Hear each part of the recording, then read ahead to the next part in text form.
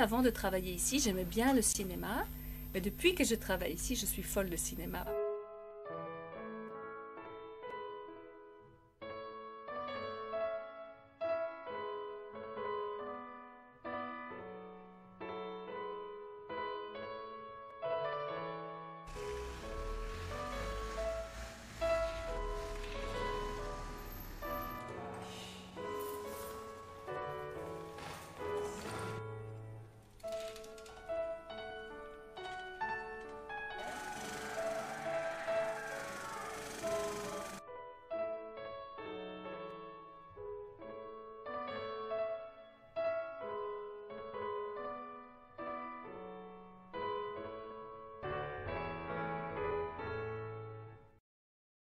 De Cinematheek is een filmmuseum eigenlijk.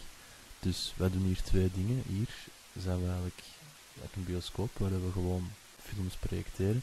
Maar al die films komen van vroeger eigenlijk. Dus dat is eigenlijk heel ons ander deel dat hier onzichtbaar is. Dat is het deel dat dus al die films van, van vroeger, vanaf de jaren 20, uh, die die bijhoudt, restaureert.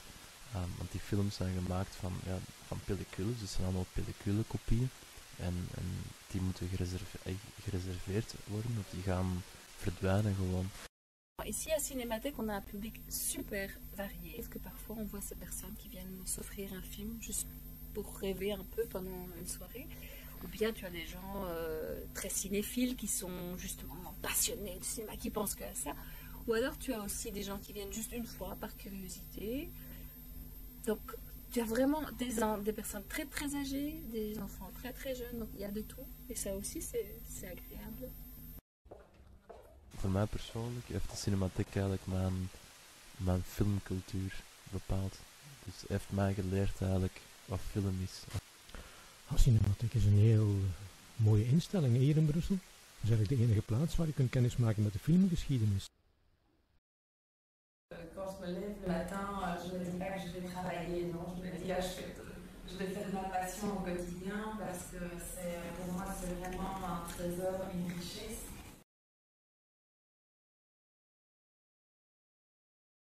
Voor mij is de cinematiek erg belangrijk geweest, net zoals ik denk dat voor andere mensen de cinematiek ook heel belangrijk is, omdat je hier bepaalde films kunt zien voor eigenlijk een vrij goedkope prijs, voor enkel 4 euro, die je anders nooit zou tegen zijn gekomen of zo. C'est pas la vocation d'une cinémathèque de montrer des films commerciaux, c'est plus de montrer des films qu'on n'a pas l'occasion de voir ailleurs dans nos collections. On montre des films, aussi des films commerciaux contemporains, mais il ne faut pas oublier non plus qu'un film évolue dans l'histoire. Par exemple, il y a des films commerciaux d'il y a 50 ans, qui aujourd'hui, c'est peut-être un chef-d'œuvre. Het is ook een industrie, het is een filmindustrie ook, dus er moet ook geld verdiend worden. Ou bien il y a aussi des films que c'est peut-être pas un grand film, mais allez, tu as passé un bon moment et, et pourquoi pas. Moi je trouve qu'il ne faut pas être exclusif.